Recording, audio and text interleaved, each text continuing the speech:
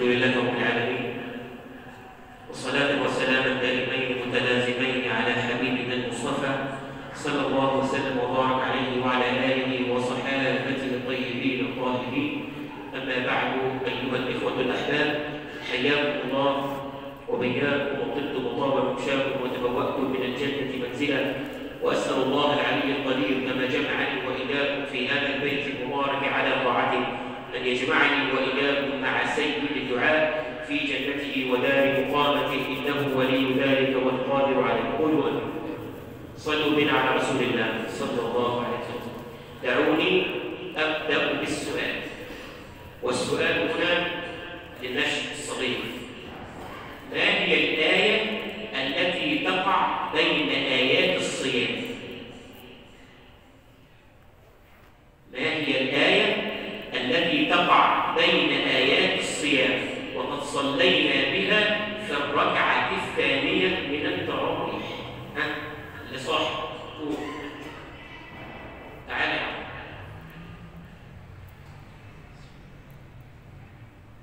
اسمك إيه؟ مروان أحمد معوض.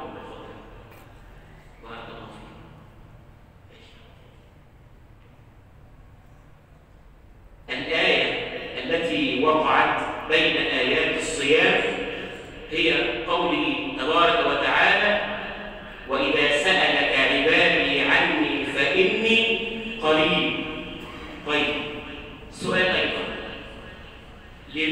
وقعت هذه الآية بين آيات الصيام.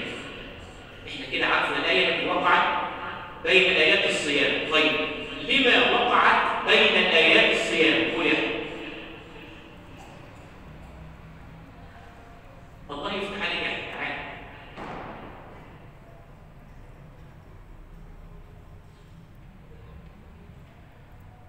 لماذا وقعت هذه الآية آية الدعاء وسط آيات الصيام لأن دعوة الصائم لا تعد لا تعد ولذلك وضع الله تبارك وتعالى بين آيات الصيام ويقول النبي صلى الله عليه وسلم ثلاثة دعوات لا ترد. ما هم يا رسول الله؟ دعوة الإمام العامل ودعوة الصائم حتى يفطر ودعوة المرفوض نعم. طيب تعالوا بنا أيها الإخوة لنتفقه ونتدارس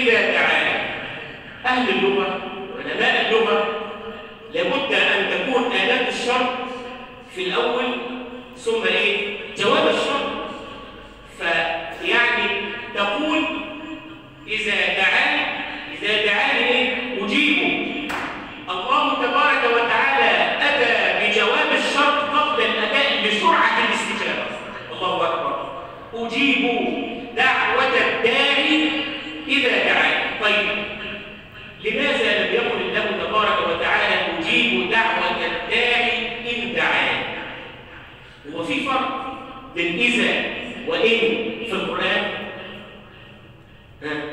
حد يعرف؟ أقول أنا عشان ما فيش صلوا على رسول الله. إذا تستخدم لقطعية الفصول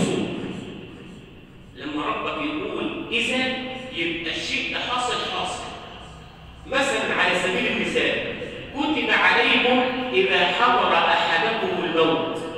هو حد الله أكبر. كتب عليكم إذا حضر أحدكم الموت. ثم قال إيه؟ إن ترك خيرا من مش كل واحد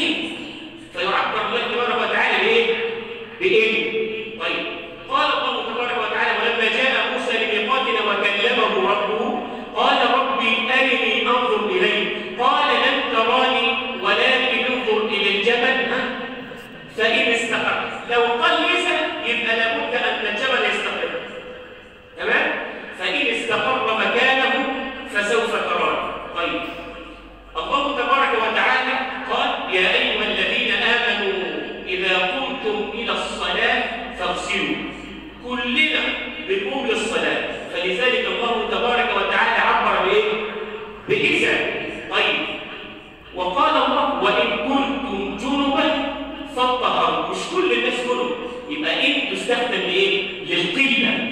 وإذا تستخدم للكسرة. في أي حتة؟ قال الله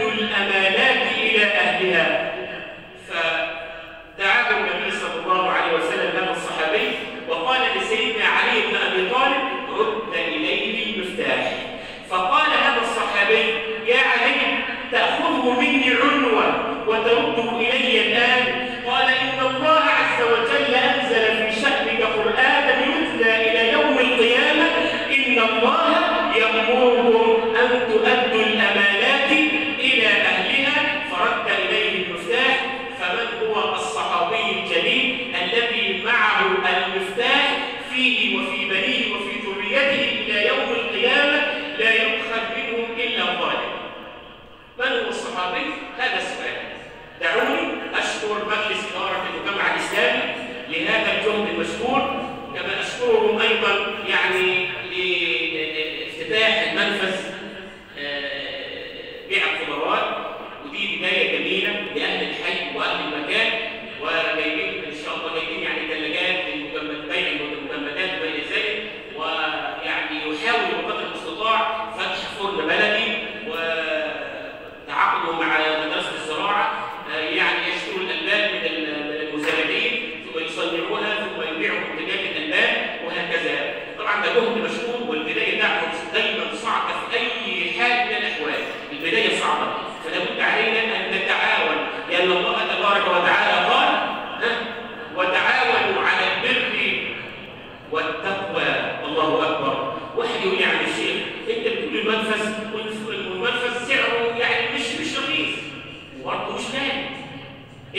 تشتري من منفذ والله تؤجر تؤجر بالمية لأن المنفذ ده ده تابع للمجمع الإسلامي. المجمع الإسلامي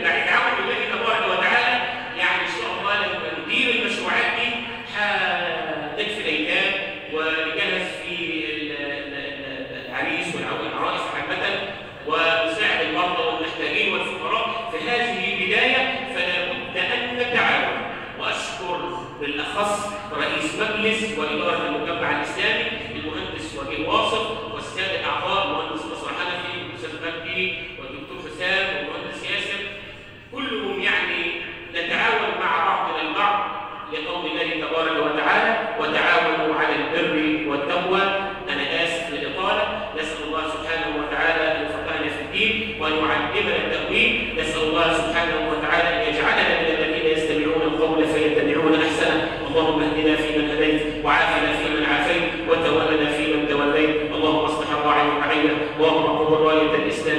اللهم اجعل مصر أهل امانا سخاء رخاء